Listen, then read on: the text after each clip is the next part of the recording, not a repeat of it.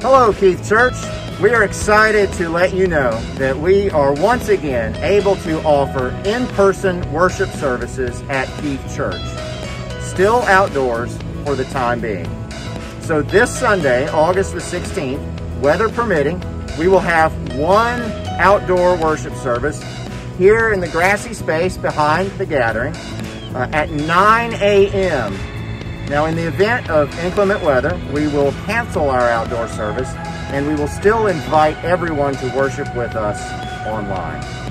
Everyone is welcome to come to worship with us. However, if you are in the vulnerable age range of over 65, or if you have a medical condition that puts you in a particular risk of complications from infection, or if you'd just rather stay safer at home. We want you to know that we will continue to live stream our worship services on our church's Facebook page, and we'll post them on our YouTube channel as well. We don't want anyone to feel pressured to return before you feel ready. We want you to feel good about coming back whenever you feel it is safe for you to do so. So here's what this Sunday will look like. First of all, it's absolutely essential that everyone who attends is wearing a face mask the entire time while you're on the church campus. If you don't have a face mask, we have plenty here at the church and are happy to provide one for you. Now, wearing a face mask is what Jesus' commandment to love one another looks like when we're in the midst of a pandemic. It's really that simple.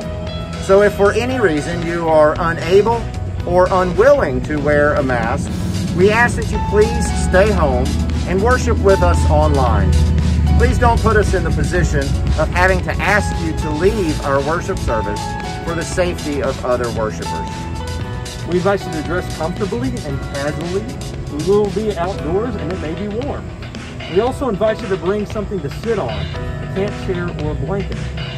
We want you to know that we will not be providing nursery or childcare. Children will be invited to sit with their families. And to be aware also that the church building itself will be closed this Sunday so there will not be any access to our restroom facilities. So please plan accordingly. Now you'll enter our worship area from either parking lot. Someone will greet you to take down your name and your contact information and to provide a face mask for you if you do not have one of your own.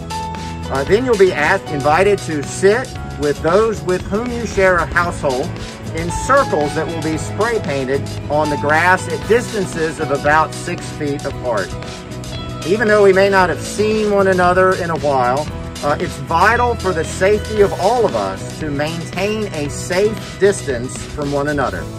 This means no hugs, no handshakes, no fist bumps or elbow pumps, no touching. But let's see if we can find creative ways to greet our friends and fellow worshipers from a safe distance. The service itself will only be about 30 to 35 minutes long. We will lead you through a worship service with some music, with no choir or congregational singing though for the time being, with prayer, with scripture, and with a message.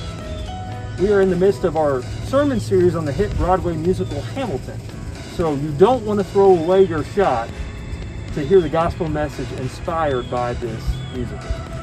We'll also have some backpack tags and some uh, vinyl stickers for water bottles and electronic devices for our students and for our teachers as a tangible and visible blessing upon them as they're starting up this new school year. Or you can come back this Sunday between 1 and 3 in the afternoon for our drive-through backpack blessing and prayer for our schools, which will be under the portico at the entrance to the gathering. We are looking forward to seeing you again this Sunday. Here's a little triplet to help you remember the main thing as we regather together for outdoor worship this Sunday. We will worship the God of grace with a mask upon our face and at least six feet of space. If we can all do this for the time being, and I'm confident that we can, then we will fulfill what Jesus said was the greatest commandment, to love God and to love our neighbor as ourselves, both as faithfully and as safely as we can.